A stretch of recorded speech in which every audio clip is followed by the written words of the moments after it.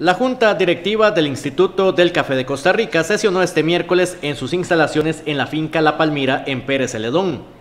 Esto es parte de la iniciativa que tiene el ICAFE de acercarse a las distintas zonas del país. A recibir a todos los delegados del sector eh, cafetalero ante el Congreso y a los representantes referentes de las firmas beneficiadoras que gestionan en el lugar.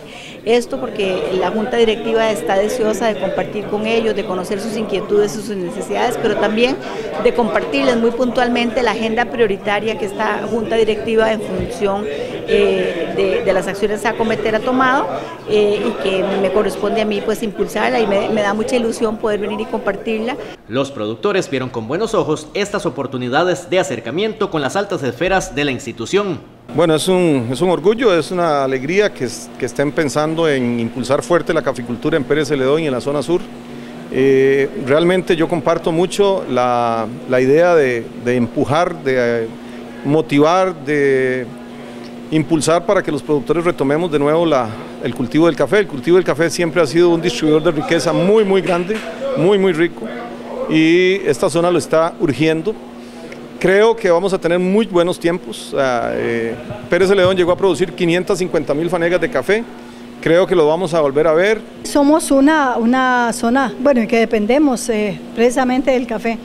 Este, bueno, la Junta Directiva ha tenido esa práctica de que por lo menos una vez al año va a sesionar a las regiones un poco para mezclarse con la actividad de la región y otro poco pues, pues para escuchar las inquietudes de los productores, que al final somos los que financiamos el café. Y es que estos acercamientos tienen objetivos muy importantes que buscan favorecer al sector productor. Es un tema que la Junta Directiva del ICF tomó la decisión de visitar las regiones para conversar con la gente, ver la agenda prioritaria que estamos llevando a nivel técnico, las acciones del ICAFE, cuál es la situación actual del sector eh, como tal, y me parece que es un acercamiento necesario y fundamental para conversar con los actores en cada región.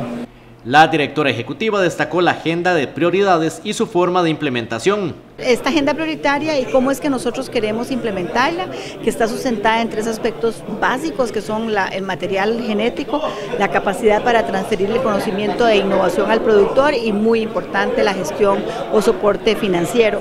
Y entonces queremos comentar con ellos cómo acometeríamos esta acción, cómo la llevaríamos a cabo y cómo ellos son agentes importantes en estas acciones público-privadas.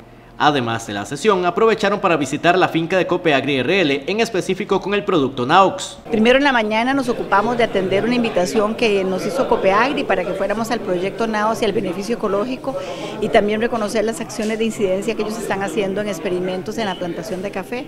Entonces fue muy grato poder ver eh, el ánimo y el deseo de construir cosas maravillosas eh, por el bienestar de los productores y productoras de café de la región. En el ICAFE continuarán trabajando muy de cerca de las zonas productoras en nuestro país.